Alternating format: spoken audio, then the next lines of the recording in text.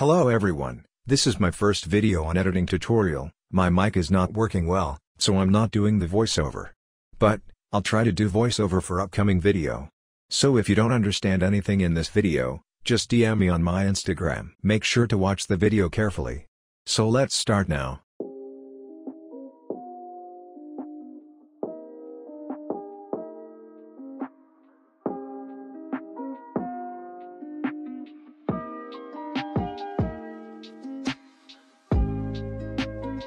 Make your clips ready and pre-compose.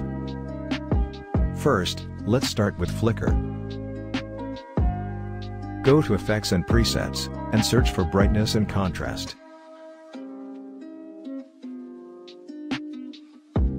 Drag it into your clip.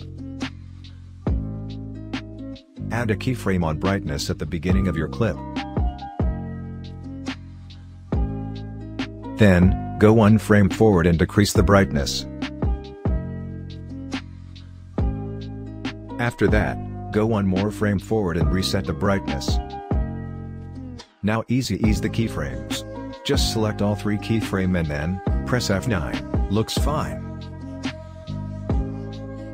Now copy these keyframe and paste them just like me. You can slow the video if you don't understand what I'm doing.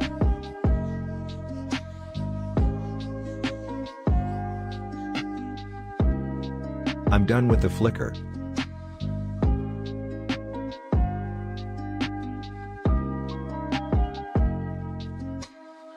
Now, the flash transition. Search glow, and drag it in your clip.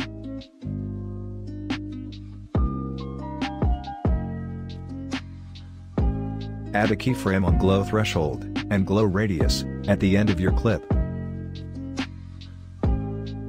Now, go back 10 frames, and add another keyframe on threshold and radius.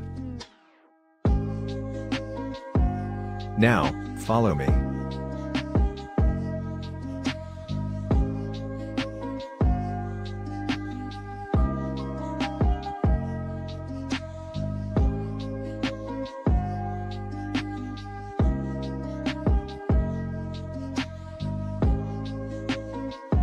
Easy ease these keyframes, to make your flash smooth.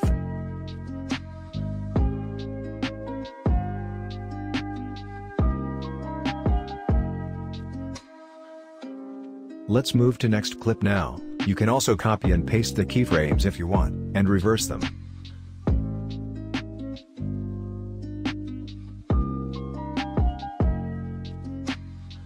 I'm checking the flash, if it looks fine or not.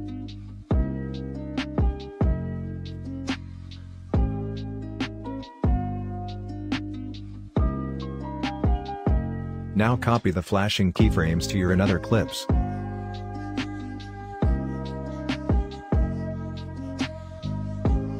I've reversed these four keyframes too.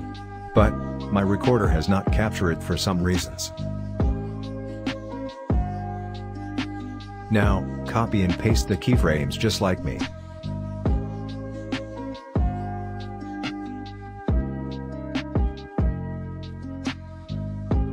Done.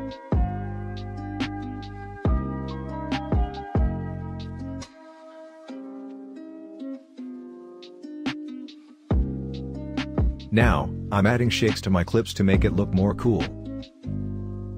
The video has already become too long, so I'm fast forwarding the shakes part.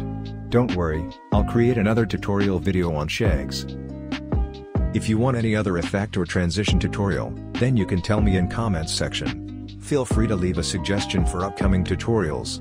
And you can follow my Instagram, there you'll get notified for upcoming videos.